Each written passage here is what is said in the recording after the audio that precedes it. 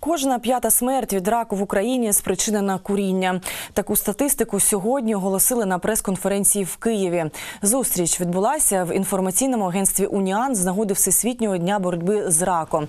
Нейрохірург-онколог, експерти та нардеп обговорили низку заходів протидії онкозахворювання.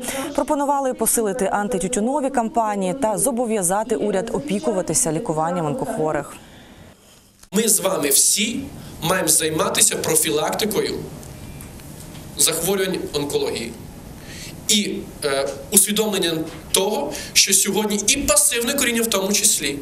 В мене є пацієнти, які в житті не викорили жодної сигарети і мають рак легень.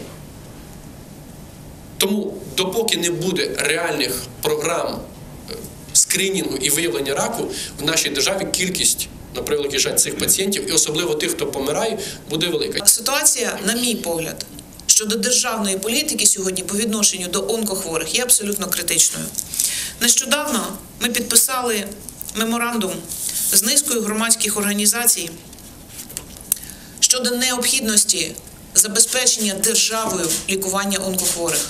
І я зараз запрошую всі ті громадські організації, які опікуються проблемою онкохворих, дорослих і дітей, долучитися до підписання цього меморандуму, долучитися до тих акцій, які ми проводимо, долучитися до всіх наших програм ранньої діагностики.